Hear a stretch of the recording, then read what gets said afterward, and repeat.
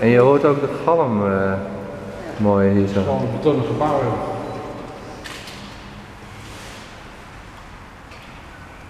Je kan hier nog verder, maar dat zou ik niet doen.